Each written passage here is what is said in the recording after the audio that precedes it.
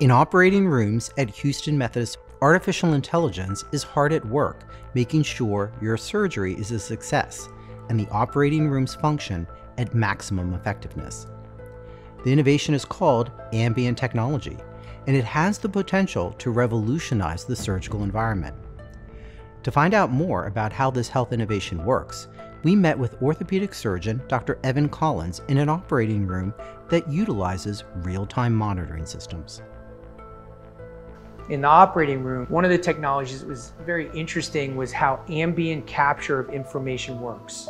And what we mean by ambient is pictures. Pictures captures uh, what we do in the operating room and then taking that information and transferring it to data that we can use in ways to help improve not only the quality of the care for the patients, but how we plan and schedule surgeries, how long surgeries take, and how we can plan for staffing. These are all challenges that go on in the operating room constantly, and we're looking for ways to use technologies to improve that.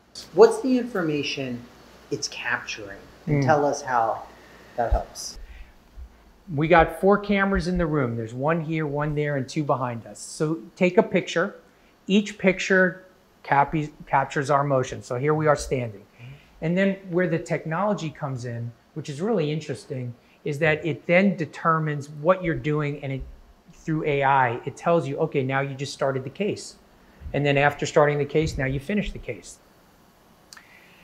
The technology is, is really important because it accurately takes what you're doing and converts it in a reliable way. For sure, you can look at the room and can come up with how the room was washed and scrubbed, mm-hmm. Right. how long it took, how many people did it, every substance, every surface that they touched, and then look at it and see is this the standard that we have?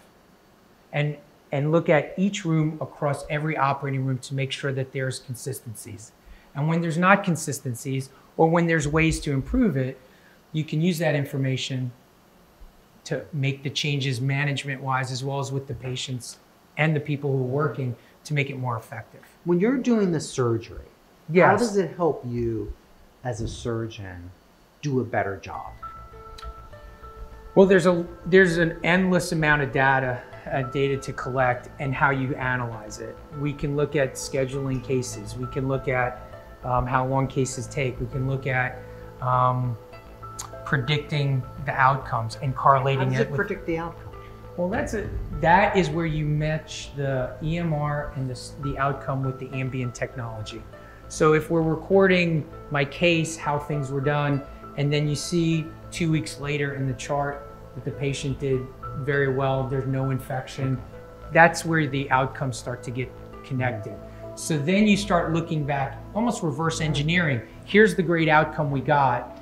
This is what we saw in the operating room through the Apella capture and the information it, it created in terms of the data and how it was analyzed. And what were those aspects that are consistent in getting that kind of outcome. We are not really able to do that until this technology.